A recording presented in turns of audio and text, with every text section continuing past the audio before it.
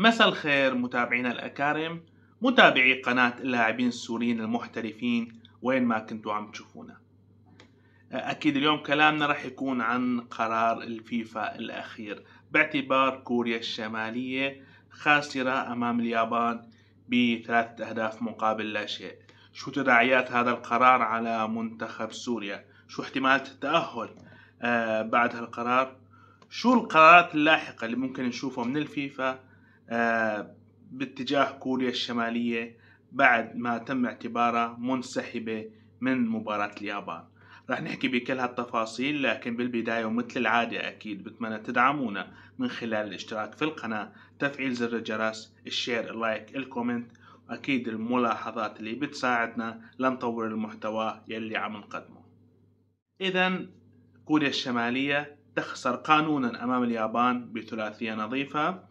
بعد تعذر إقامة المباراة في بيونغ يانغ عاصمة كوريا الشمالية.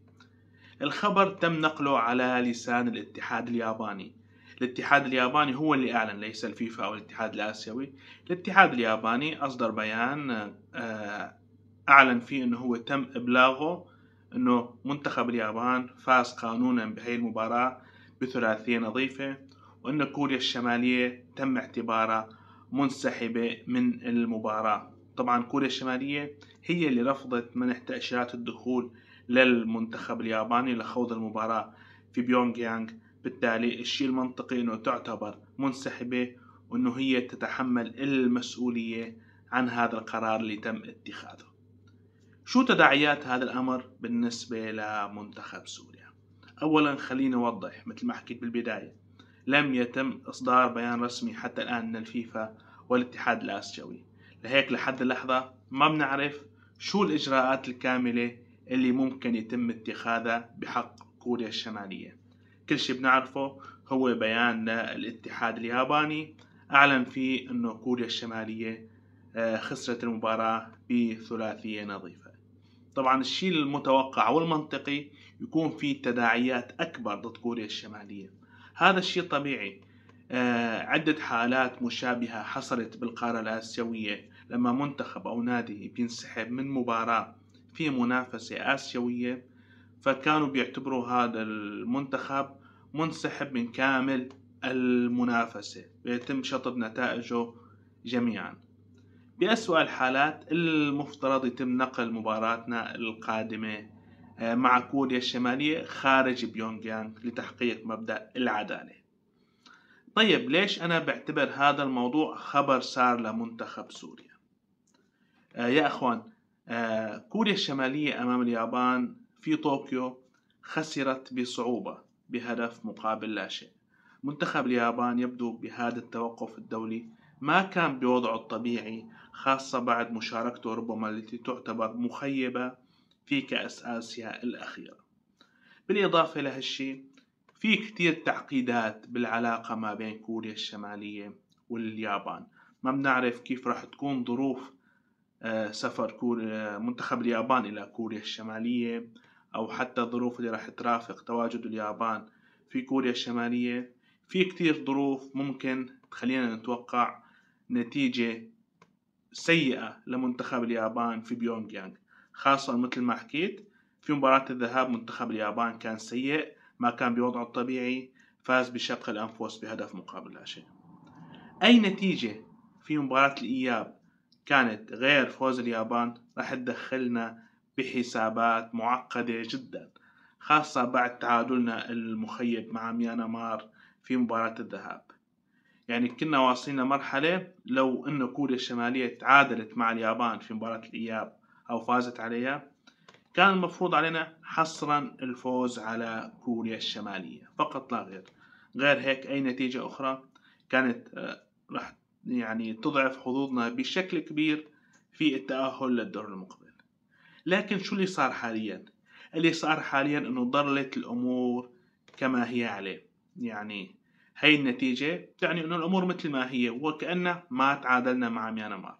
نحن من البداية كان مطلوب منا التعادل أمام كوريا الشمالية للتأهل. حاليا نفس الشيء. لو كنا فزنا على ميانمار بالمباراتين آه، وما تعادلنا مباراة فزنا مباراة فنفس الشيء المفروض إنه نحن نتعادل على أقل تقدير مع كوريا الشمالية في مباراة الإياب حتى نحن نضمن بطاقة التأهل للدور المقبل. لكن مثل ما حكيت قانون الاتحاد الآسيوي دائما آه، في أمور واضحة في تداعيات على كل فريق يعتبر منسحب من المباراة.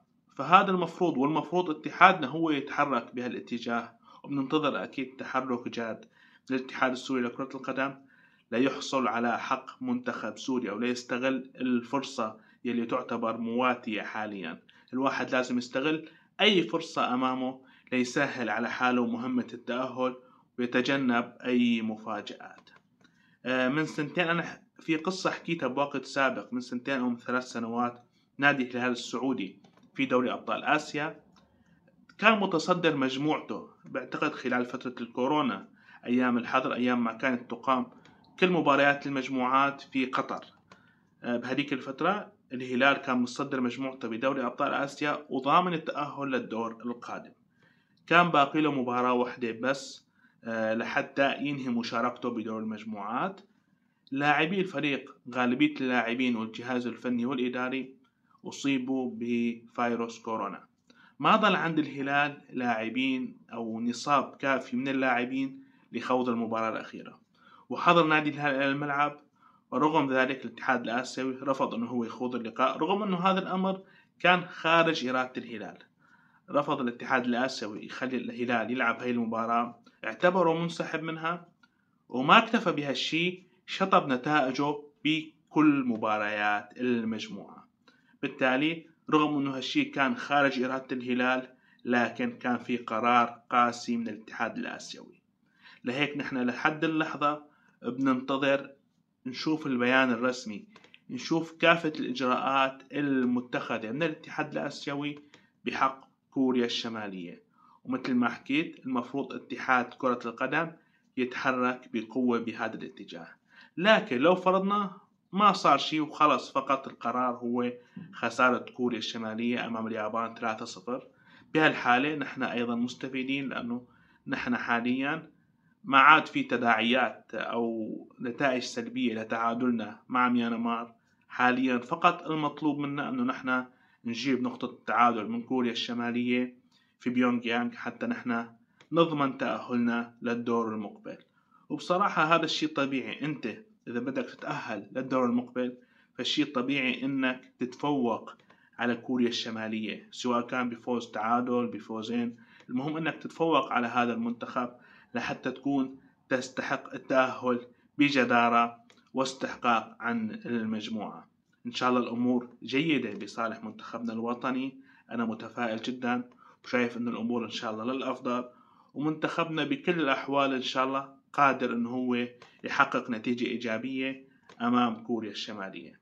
بتمنى تعطوني رأيكم بالتعليقات كيف بتشوفوا وضع منتخبنا بعد هالقرار وشو رأيكم ممكن الإجراءات اللي ياخذها الاتحاد الآسيوي؟ وإن شاء الله راح نكون معكم بفيديوهات قادمة نحكي أكثر عن هالموضوع.